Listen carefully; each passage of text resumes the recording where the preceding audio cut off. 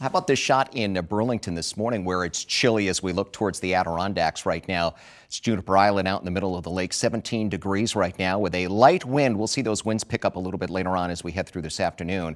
How about this shot of Camel's Hump this morning? What a beautiful sunrise we've got as we look from Plattsburgh back towards uh, the east. And cold in Plattsburgh right now, 14 degrees with a calm wind as well. Temperatures, yes, single digits and teens. That is difficult stuff this morning for a lot of folks waking up and just getting outside here this morning. How about six in Saranac? I noticed Saranac Lake was below zero uh, in the last hour. A lot of single digits in the Adirondacks. Again, a little warmer in the Champlain Valley, but then up into the Northeast Kingdom, looking at single digits again as well. Seven in Derby. How about some fours in Lyndonville, Danville, and Cabot at this hour? A little warmer down to the south with temperatures into the 20s for some. How about 26 degrees right now in Bennington, one of the warmer spots across that region.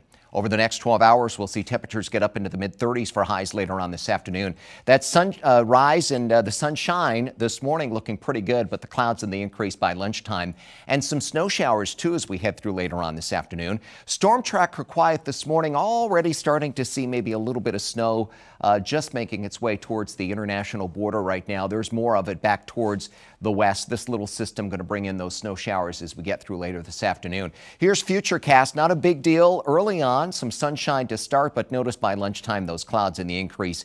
And here comes some of the snow showers as well. We're not talking a lot here, but as it comes through this afternoon, I think maybe a couple of bursts of snow in spots. And notice the timing here. This is right in the greater Burlington area at 4:30 this evening. So if you've got plans tonight and you're headed out, just be prepared. It could get slick uh, a little bit later on. We're not talking a lot about a lot of snow again, but uh, so many times we've seen it doesn't take a lot to cause some problems. So keep that in mind tonight. We quiet down overnight. We start with some sunshine tomorrow, mixing with afternoon clouds, and then that system moves in here for Monday, which brings us a pretty warm and windy and wet day. Periods of rain on Monday could see gusts up near 50 miles per hour. As the front moves through, it turns colder behind it, and we get in on snow showers to finish out Monday night and early Tuesday. How much snow are we talking about tonight.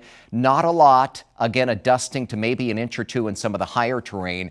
Breezy this afternoon as well, and then another round of some winds to deal with as we get into uh, early Monday and through the day on Monday. Some models calling for gusts up over 50 miles an hour, so this will be something to watch as we get into the start of next week.